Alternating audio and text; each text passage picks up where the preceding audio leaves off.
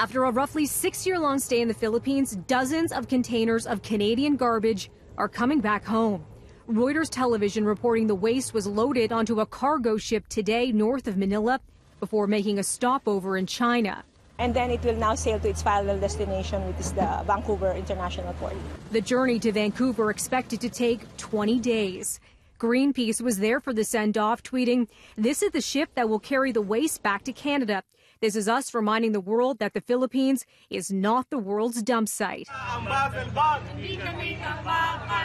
Protesters in the Philippines today holding signs saying good riddance to the trash, the subject of a years long rift between Manila and Ottawa.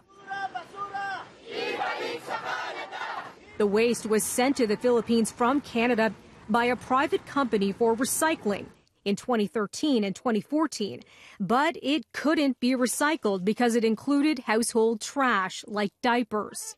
Tensions recently escalated over the dispute, with Manila pulling its top diplomats out of Ottawa and the Philippine president threatening to go to war if the issue was not resolved. Last week, the federal government formally announcing plans to bring back the waste and explaining in 2016, Canada amended its regulations to prevent future exports of such material without a permit. Canada is also looking at ways to hold the responsible parties to account. But there's more trash to deal with. This week, Malaysia became the second Asian nation to demand that Canada take back its garbage.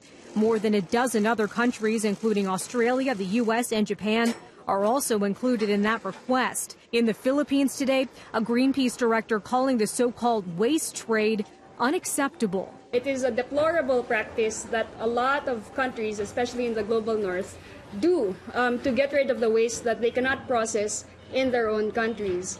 So wherever waste trade happens, um, it impinges on human rights of the people who accept the waste.